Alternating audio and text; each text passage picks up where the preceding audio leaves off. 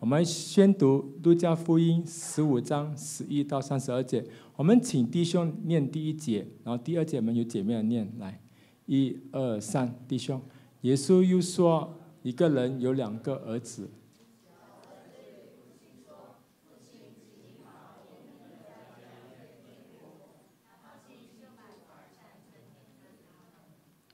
过了不多几天，小儿子把他一切所有的都收拾起来，往远方去了。在那里，他任意放荡，浪费钱财。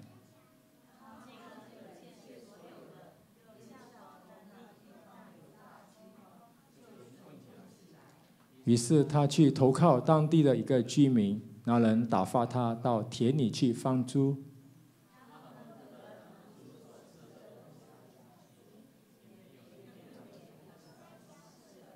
他醒悟过来，就说：“我父亲有多少故宫，粮食有余，我倒在这里饿死吗？”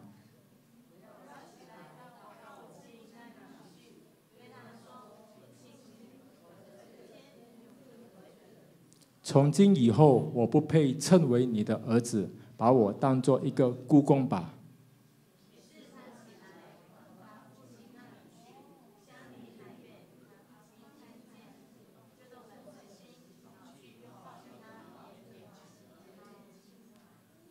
儿子对他说：“父亲，我得罪了天，又得罪了你。从今以后，我不配称为你的儿子。”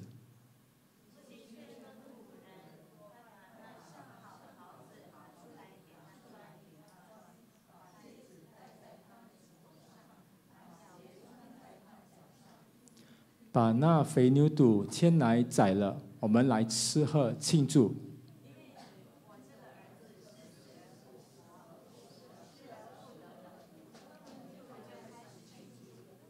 那时，大儿子正在田里。他回来，离家不远时，听见巧乐跳舞的声音。童仆对他说：“你弟弟回来了。你父亲因为他无灾无病的回来，把肥牛肚宰了。”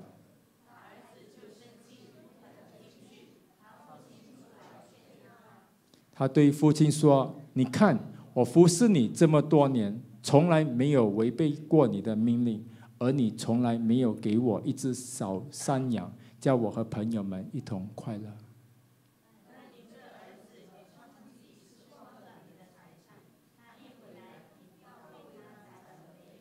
一起来，父亲对他说：“儿啊，你常和我同在，我所有的一切都是你的。”哎，还有。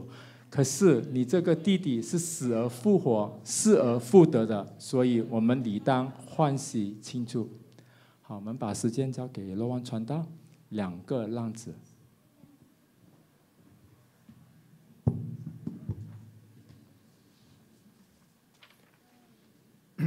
好，各位弟兄姐妹，大家在主里平安。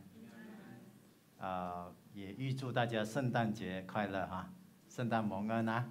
啊，请你跟你的旁边人跟他讲一下圣诞蒙恩呐。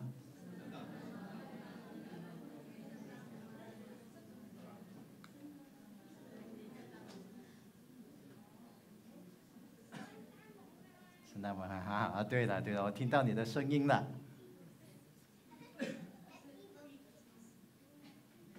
好啊，我们一起来祷告啊。天父上帝，我们感谢你。在这个纪念你在两千年前愿意放下天上一切的荣华富贵，更是我们所不能够明白的那天上的荣耀。你来到世界上，成为一个小婴孩，为了是要拯救我们每一个人。我们向你感恩，让我们能够纪念在圣诞节的时候你为我们所做的一切。我们求你帮助我们，让我们更能体会主啊，你自己在这个过程当中你所向我们表达的爱和完成的接纳。所以，我们啊，将今天早上向你交托，愿你带领我们能够呃明白你的心意。我们每一个人的情况，主你都了解，你是我们的牧者，愿你按照我们的需要，你来喂养我们。我们将交托祷告，奉耶稣基督圣名，阿门。好，在我们当中有谁听过浪子回头的故事？请举手。有听过的，啊，基本上都有听过，对吗？如果没有听过，刚才你也读过了，啊，呃，那么在这个故事里面，谁是那个浪子啊？小儿子啊，对了，你你这代表你有听过那个故事啊。好，那浪子回头的故事跟圣诞节又有什么关系呢？好像有点遥远，但是有点近哈。那我们就来看一看啊。那这里耶稣说了这个故事，说啊，耶稣说一个人有两个儿子，那这个人那是指向谁呢？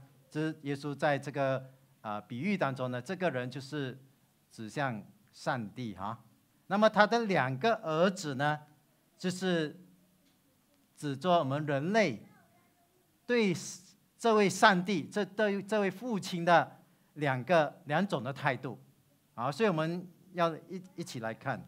我们先来看看小儿子了哈。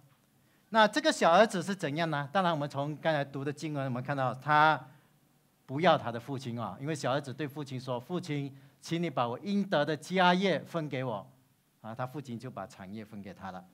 那在当时候的呃这个文化风俗里面呢？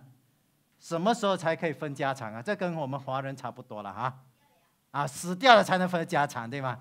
还没有死的，你这个孩子要爸爸分你家产啊，你就是很不孝的孩子了，啊，所以，那么在分家产，通常呢，长子是得双倍了哈，就是三分之二，这个小儿子是得三分之一，所以你想想看哈，在那个时候那种 honor and shame 的 culture 就是荣。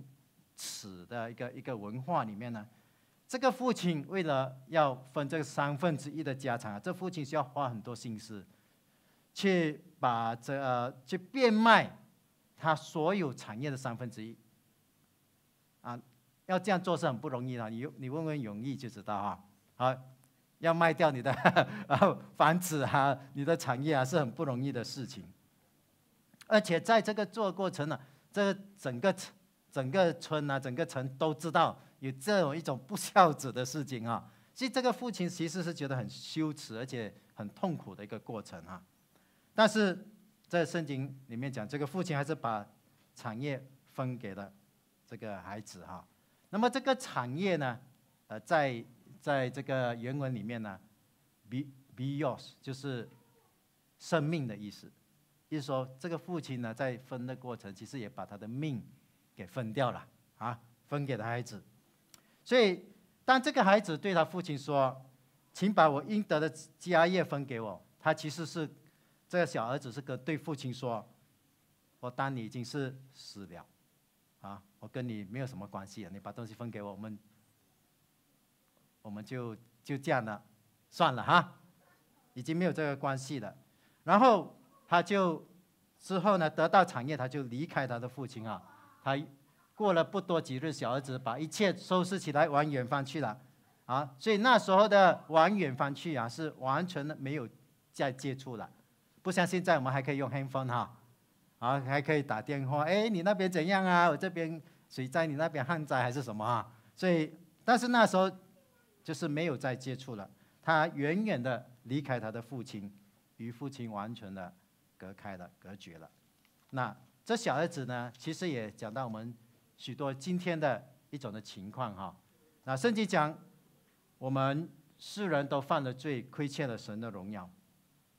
啊，这个罪啊，圣经讲每个人都有罪。那你想想哈，有没有你做的一个事情，你觉得很羞耻的？呃，如果给人知道，真的是很羞耻的，有没有做过啊？有哈。那么。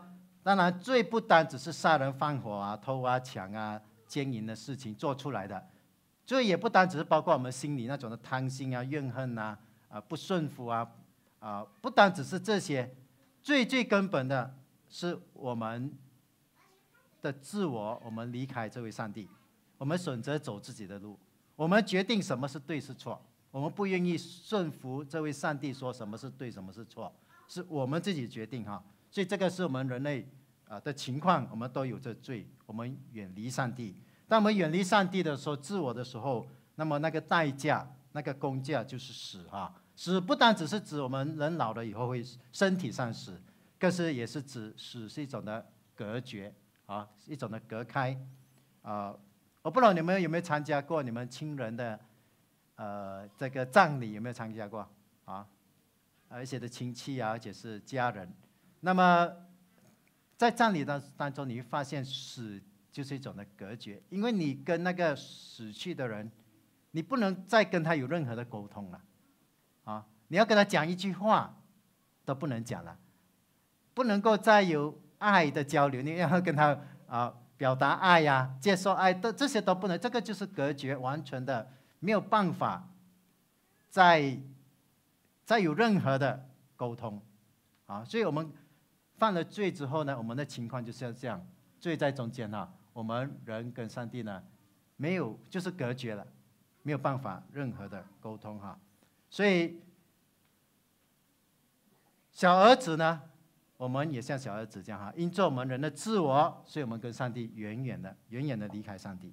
那么结果是什么呢？结果就是小儿子开始任意而行了哈，任意而行，啊，在那里任意放荡、浪费资财。所以这种自我做主的生命啊，是我们人生的目的呢，常常就是开始任意而行了。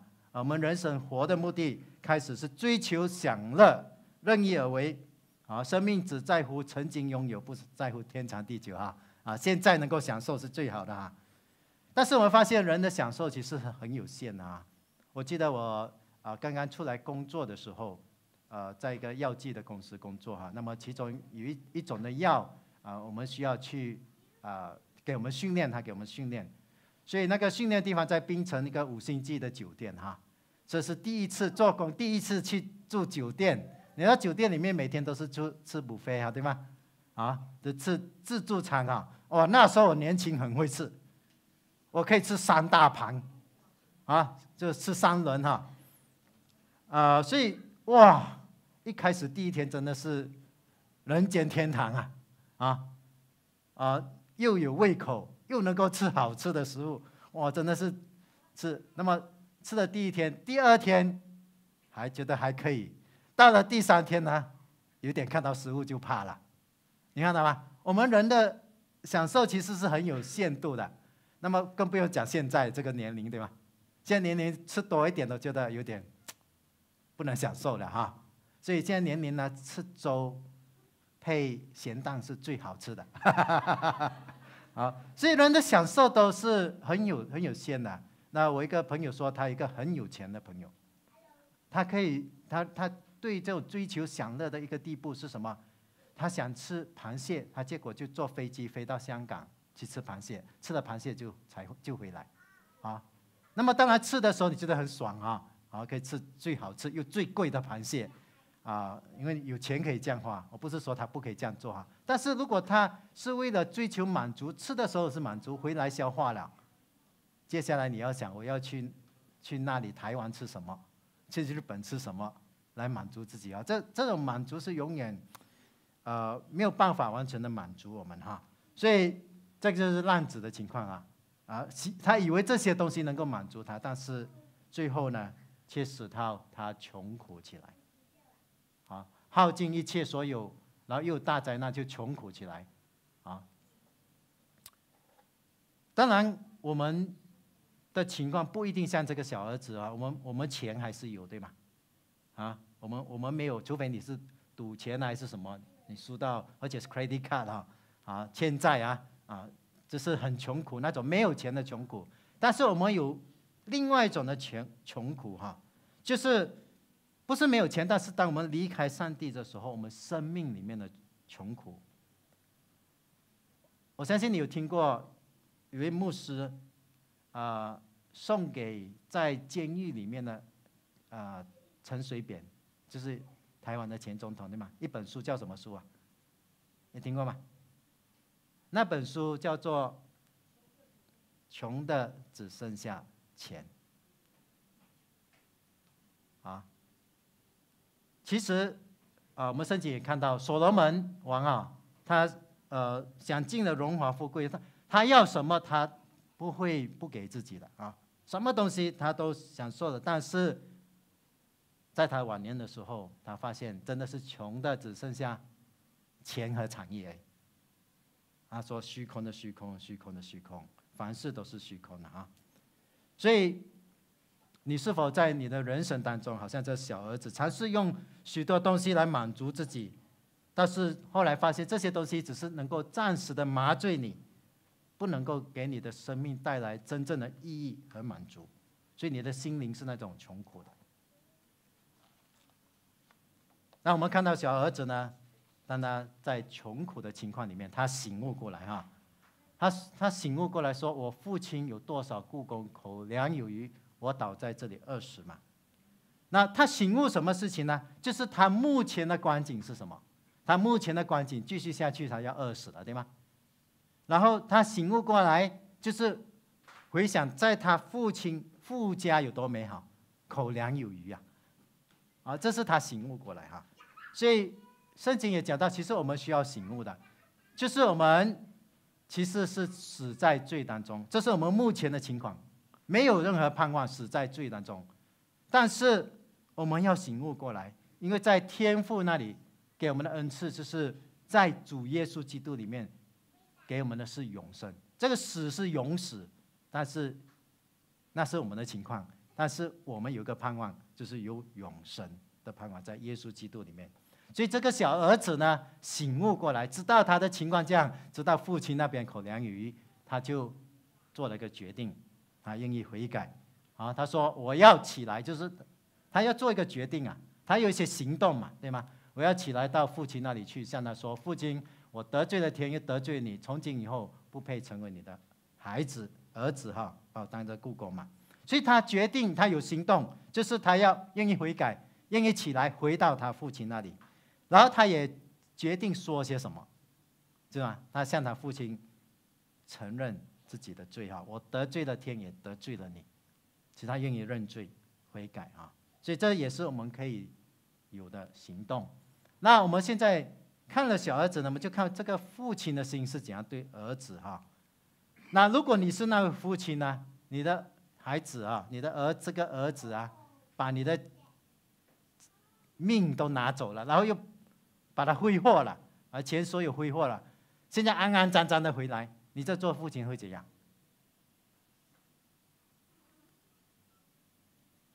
啊，你的孩子整天去借贷弄啊，欠了一身债，你看到他你会怎样？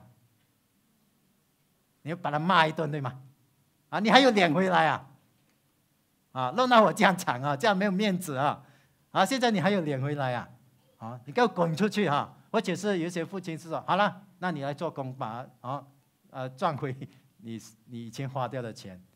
但是耶稣这里告诉我们，这位天父的心是怎样的？他其实是在等待这个小儿子回来。你看到，呃，相离甚远，他父亲就看见了。那这里是讲到，其实表达上帝的心意，就是这位天父天天在这父亲啊。一直在等孩子，当别回来，然后别人都没有看到，因为别人都在忙自己事情，但是这个父亲却看到这个孩子远远的都看到他，说明什么？说明这父亲一直在等待，一直在等候，啊，所以呃，等候这个孩子回来，然后呢，父亲也动了慈心啊，因为这个小孩小儿子其实那时候。他是带着很羞愧、很惧怕，对吗？很很羞耻，又很惧怕，到底父亲会怎样？会不会认我啊？会不会会接受我做一个工人啊？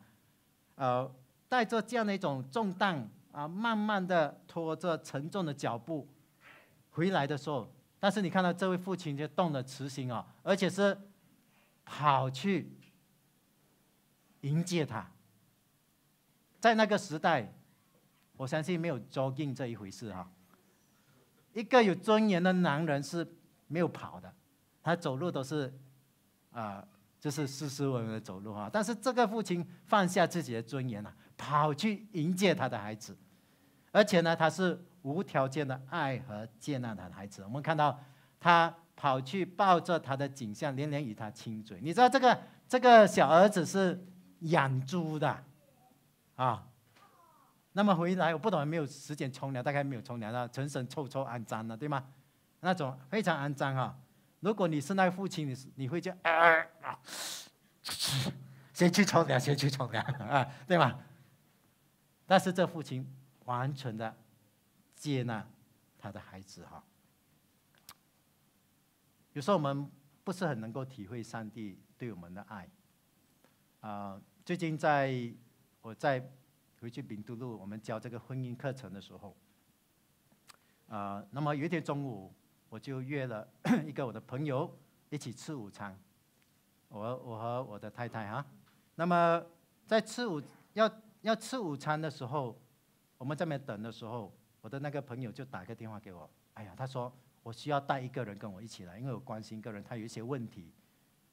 好了，我们就啊就等他，那么发现他带了。一个二十岁的女孩，女孩子二十岁是另外一个种族的哈，啊，就我们就跟他握手的时候，发现他的牙齿、他的嘴巴一直在一直在这样的颤抖在动哈。后来我们发现，原来这个二十岁的女孩呢，她已经呃一个星期不能吃不能睡，一个星期不能吃不能睡，原来她有这个呃这个忧郁症的。背景哈，所以我们就就坐下来跟他谈。当然，呃，呃，我的太太她就啊跟那个那个女孩子谈的时候，明让她告诉她我们明白她的挣扎，那种犹豫的情况的挣扎。那么后来我们发现，原来她在呃这小女孩二十岁女孩呢，她在十六岁的时候被她叔叔啊强奸。那么他要跟家人讲的时候，家人都不相信他，啊，反而是拒绝他。然后在十九岁的时候，不能去看医生的时候，被一个 medical assistant 强奸，然后他就怀孕。后来呢，是被他的父亲打他，打到他流产。所以，所以他真这些都是使他觉得这个生命没有意义，所以他一直想要自杀。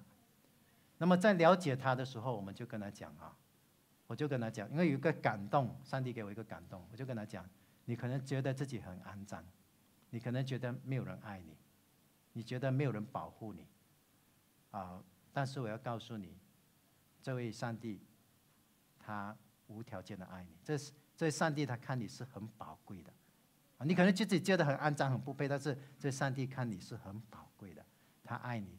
耶稣愿意为你而死哈，你可以来相信接受这位耶稣。所以那一天当我跟他这样讲的时候啊，我我平常跟跟人讲，这个是我们头脑知道的哈。但是那天跟他讲的时候，我真的感受上上帝对我们的爱，不管我们是多多没有用、多肮脏、多软弱，他还是看我们是最宝贵的，甚至愿意为我们牺牲啊。所以这个。天赋呢，就是这样的来表达他对我们的爱，就是你最肮脏的时候，他就跑跑去抱你了，没有讲你先冲个凉才喷点香水才回来，没有的，他是完全的爱和接纳，不管你有多坏、多肮脏、多讨人厌啊。所以上帝不是等你悔改了才爱你，上帝是先爱我们，这是为什么我们要悔改？明白这段话吗？上帝不是等你悔改了才爱你啊，上帝是已经爱你了，这是为什么你要需要悔改来经历他的爱？好，而且呢，这个父亲呢给了孩子哈，他的小儿子最需要那时候，小儿子最需要就是恩典了。恩典是什么呢？恩典是我们得到我们不配得的。这小孩子，小儿子配得什么？花光了所有钱，他回来他配得什么？他配得一顿的。骂对吗？配的要偿还，要抵罪。但是这个父亲没有，他给孩子不配得的，就是完全的、无条件的接纳他孩子，并且恢复小儿子的名分。你看到吗？这父亲吩咐仆人说：“上好的袍子呢，再给他穿。”这个家上最好的袍子是谁的袍子啊？是父亲的袍子，当然对吗？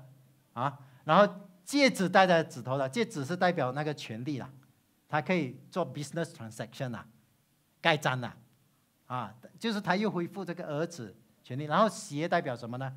仆人是没有穿鞋的，只有儿子家人是有穿鞋的，所以他父亲恢复儿子的名分，而且呢还预备一个丰盛的宴席，这就是耶稣告诉我们天父的心意。啊，你不是靠自己的努力来得救，你是靠上帝的恩典。只要你愿意回头，回到上帝的怀里，耶稣就说：“凡接待我的，就是信我名的人，我啊赐给他权柄，成为神的儿女，是成为神的孩子啊。”那这恩典呢，是免费的，是 freely 啊。give 呃啥是免费的，但是它不是廉价的，不是 cheap 的 grace 啊。那我们来看大儿子是去明白这个恩典到底是怎样的啊。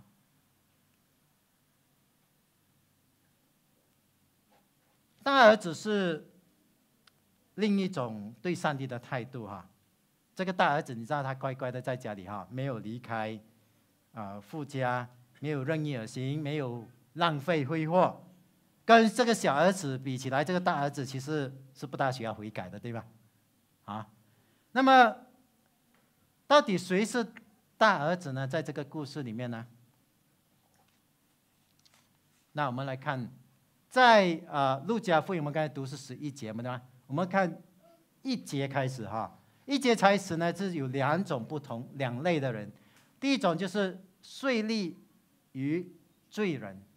啊，税吏与罪人，税吏你们知道他是收税的哈。我们这里的那个税收局，你大概都不欢迎他来你的 office 啊。哈哈，而且那时候的更惨，他们帮罗马，帮这个外外面的人哈，好像汉奸这样的吗？帮他收税。那么他收的过程呢，他会收，硬硬挤你啦，因为挤多的就是他自己的，啊，所以是很不受欢迎的罪人税吏。还有罪人是谁呢？罪人是那些外邦人，或者是娼妓做妓女的。好，所以这是第一种，这这个就是其实就是小儿子了哈，就是那些罪人了哈。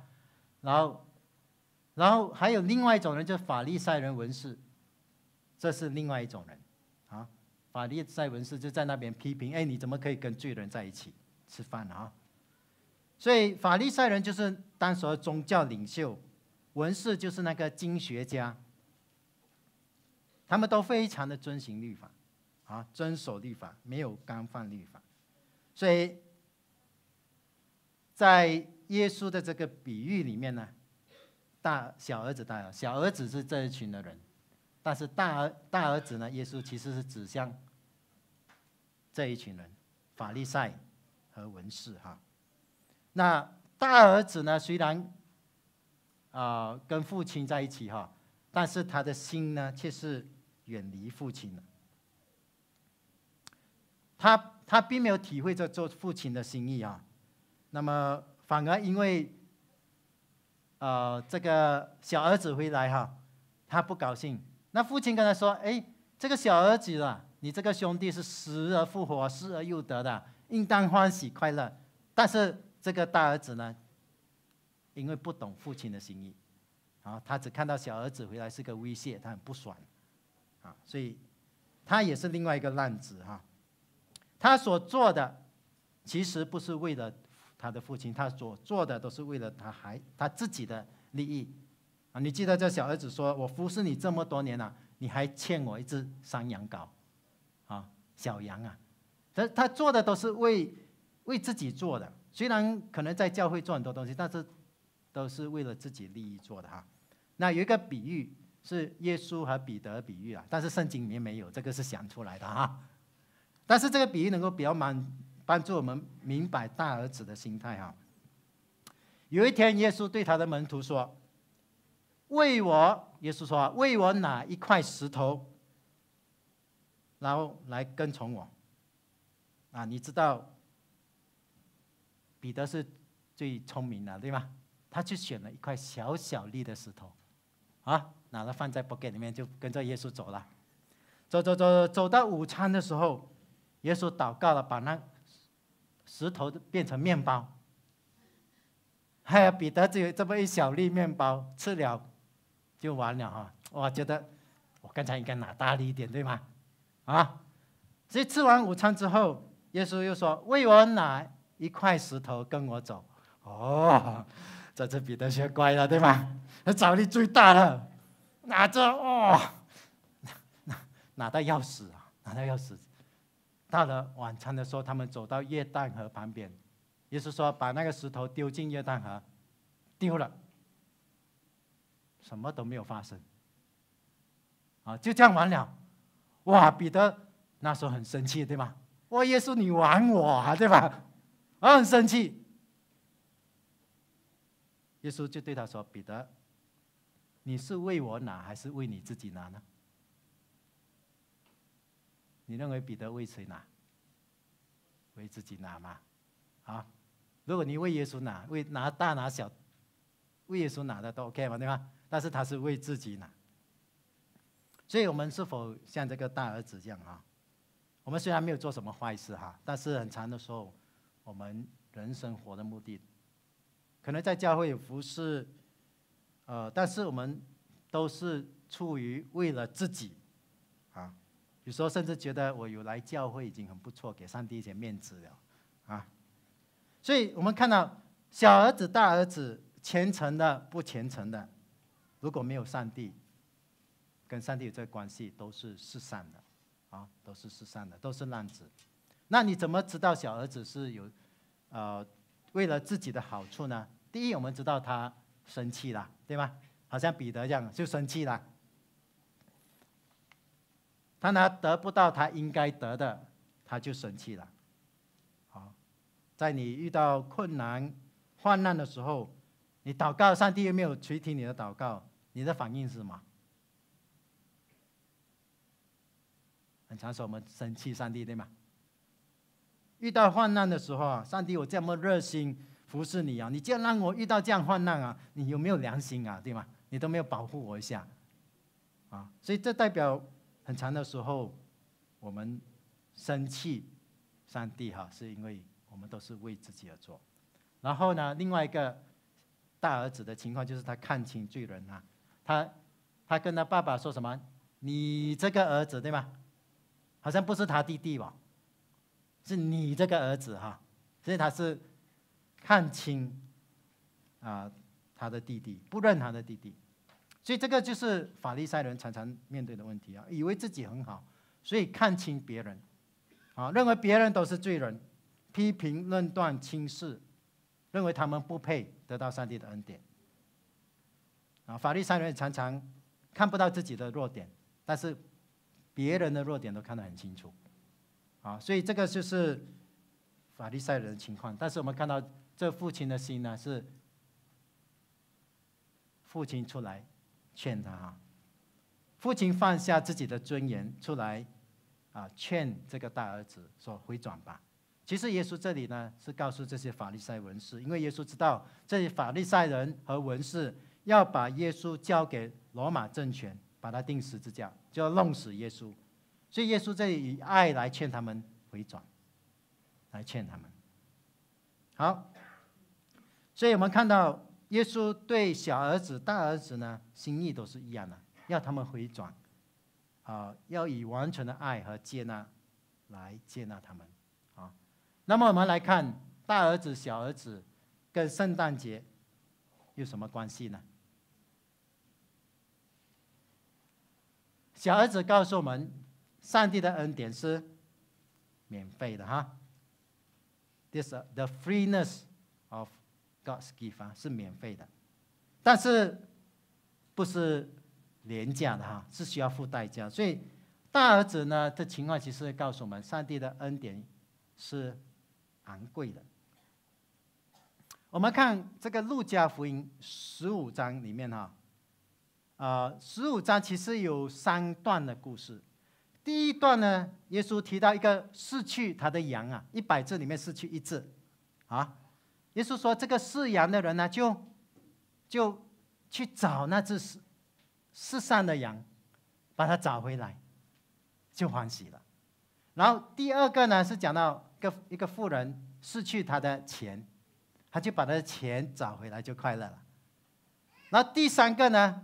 就是这个浪子回头故事，就是这个父亲失去了这个小儿子。但是很奇怪的，这里呢，这父亲没有去找这个小儿子啊，反而在家里等待，没有去找小儿子。那请问，谁应该去找这个小儿子失去的小儿子回来呢？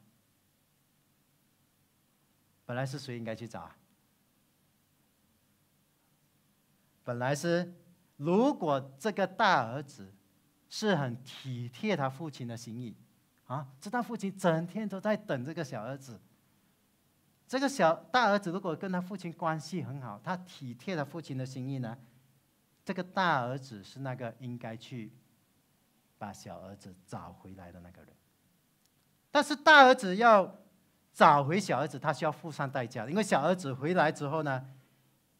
也许又可以在父亲去世之后啊，因为他又是一个儿子的嘛，父亲去世的时候又可以分他一 三分之一财产，又要分出来啊。那这是也许是为什么小大儿子很生气的原因，因为他想到我的财产又完了，他需要付代价。那我们要问个问题：谁是真正贴近父亲心意的大儿子？这是做应该做的，去找小小儿子找回来，付上多少代价都要把小儿子找回来。谁是那个真正的大儿子呢？真正的长子呢？就是圣诞节，耶稣基督，我们的天父的独生子，耶稣基督。他看到我们这些人都失落了，我们失散了。他愿意付出昂贵的代价，放下天上的荣耀，还有那个无所不在，变成一个小 baby 被布包着，连大便都不能自己洗啊！从一个荣耀的上帝变成一个 baby，而且离开天上远远的，离开那个家去找失散的小儿子。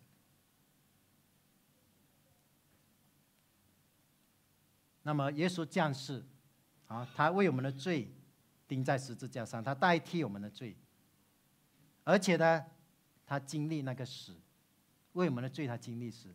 耶稣在十字架上最后一，啊，最后话之前呢是神啊神啊，为什么你离开我？那是他最痛苦的时候，因为他经历了那个离开，那个死啊，他为我们担当我们的罪。所以，耶稣的在圣诞节。好，他来到世界上，以及他为我们死和复活呢？告诉我们，耶稣为了要把我们找回来啊，他付出昂贵的代价，就是他自己的生命，他为我们付出了。所以这位就是那位真正的长子。在圣诞节的时候，我们要记得，圣诞节不是哇很爽，大家 happy 的时间。是这位大儿子放下他的家，付出生命的代价，去到远方把我们这些小儿子找回来。所以耶稣说，他就是道路、真理、生命。若不接受他，没有人能到回到父那里去。